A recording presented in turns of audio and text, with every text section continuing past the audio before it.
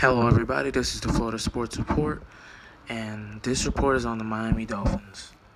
Um, the Miami Dolphins are in big trouble here. First, Ryan Tannehill, now Raekwon McMillan. Um, watching the Dolph- I'm watching the Dolphins game right now, and I just found out that Raekwon McMillan has suffered an ACL injury, a major ACL injury, and um, he could potentially be out for the year.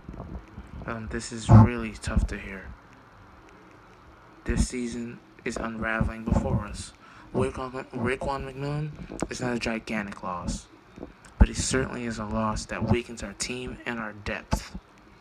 As It's so disappointing. Literally, this guy on his first NFL snap snaps up his ACL, and it's probably going to be out for the season. I swear, this is such a brutal league.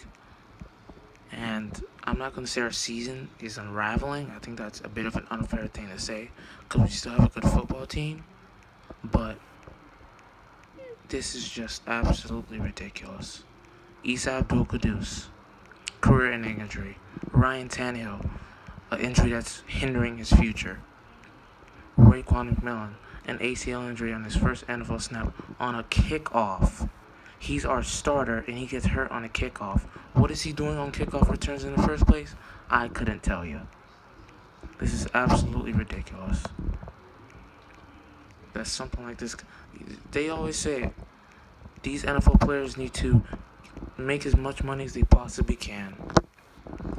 You know, because it could end on one single snap. And that's not the case for most NFL players. It really isn't. But for those where it ha- happens, where a big time injury happens on one single snap, they'll tell you that. They tell you that make as much of your career as you possibly can before it's too late. Everybody, this is the Florida Sports Report, and I am out.